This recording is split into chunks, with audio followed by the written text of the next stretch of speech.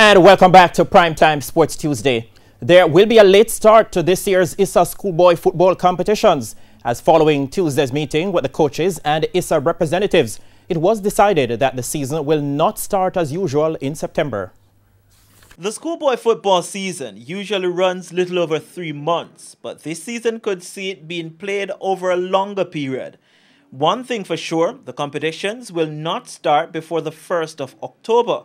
That's one month later than usual. There will also be no team training before the 1st of July.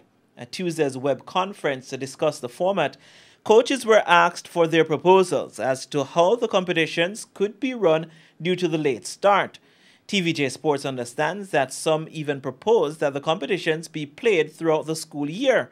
According to Technical Director of Manning Cup champions Jamaica College, David Ferguson, an October start date is a logical option because if you recognize uh, CSEC results will come out in the first week of September, and that is critical for the registration process for, for schoolboy football. But also the competition happening before then. So I think it's a real possibility that that might be a timeline that they can consider.